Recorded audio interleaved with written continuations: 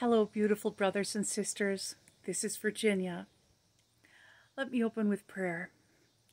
Heavenly Father, I pray that your words will be spoken here, not mine. Show me what to say and draw everybody here who's supposed to see it, and may they all be blessed. And may Jesus have all the glory. I ask it in his name. Amen. Well, first, let me present the gospel. Jesus loves you, and he wants you to spend eternity in heaven with him. But that can't happen unless you are born again.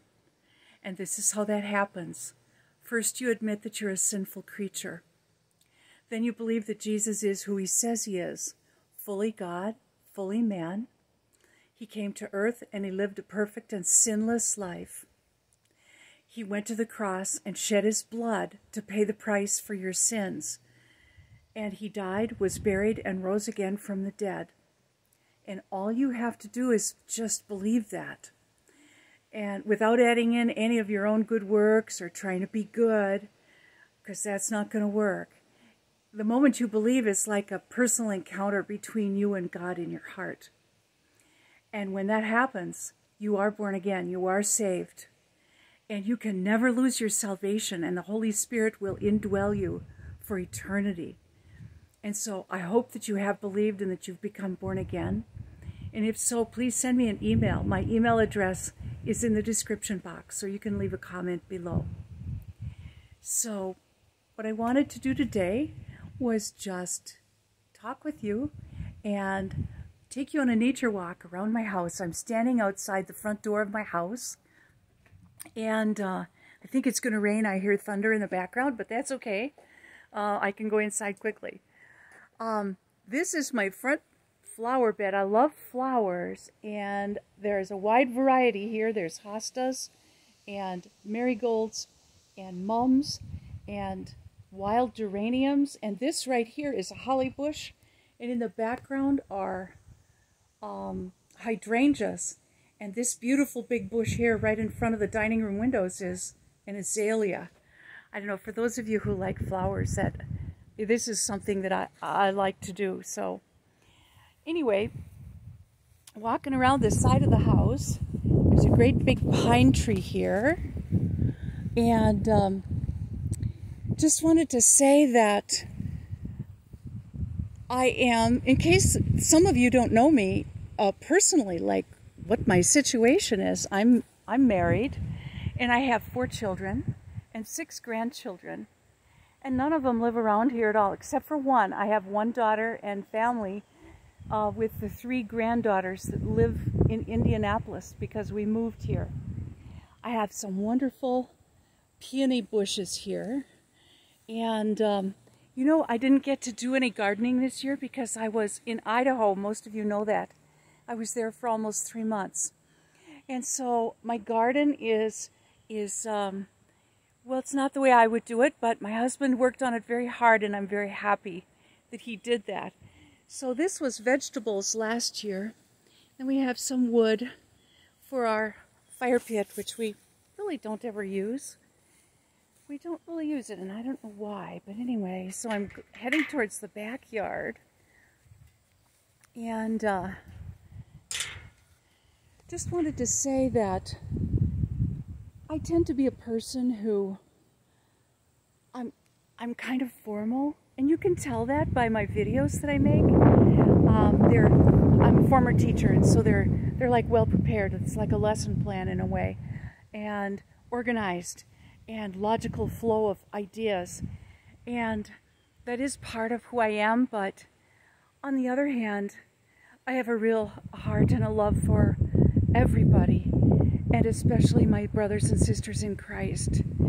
And this is not an easy time for any of us, and especially for those of us who have family who are not saved.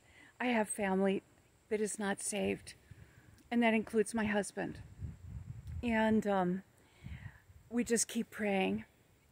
And what I've discovered is that we need to, I need to just be quiet, meek and quiet, and also um, just love Him and ask the Lord to bless him and just keep going.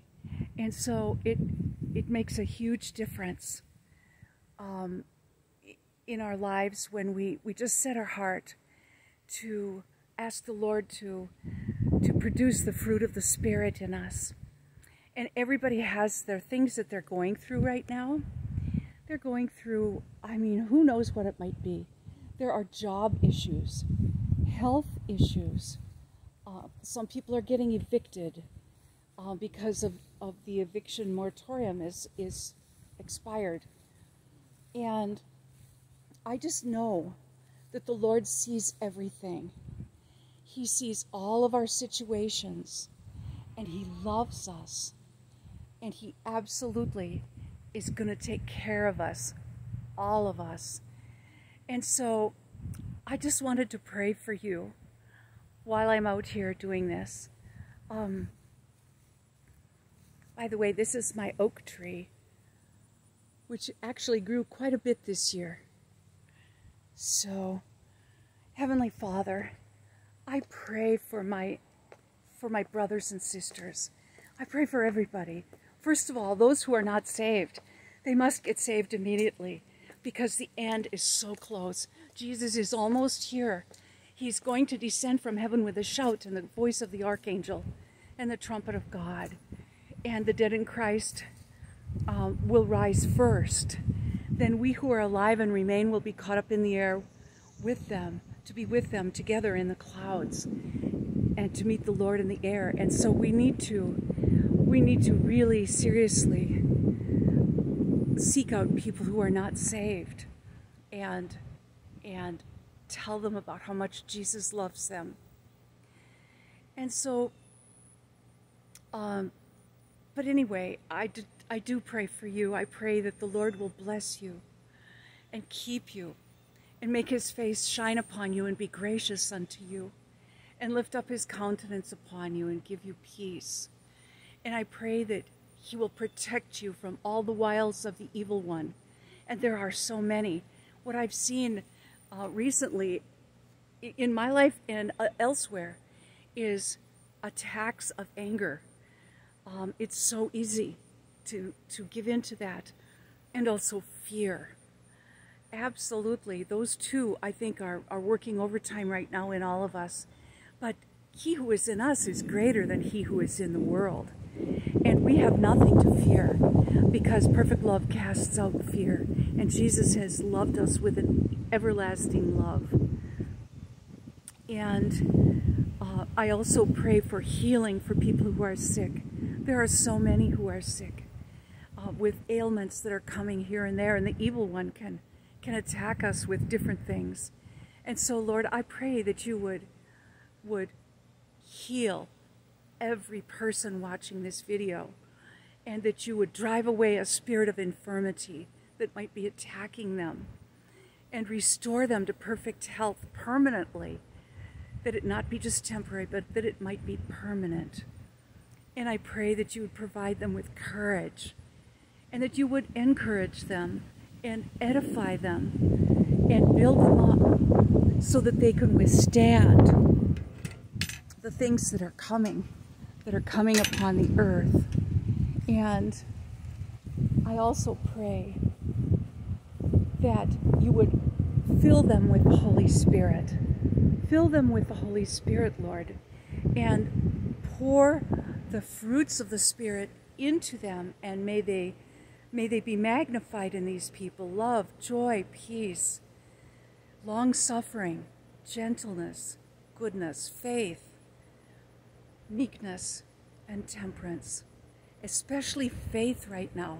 The shield of faith is more important than almost anything because the world is about to be turned upside down. Things are going to flip suddenly. It'll be a sudden flip. And yet Jesus is with us and we will have nothing to fear.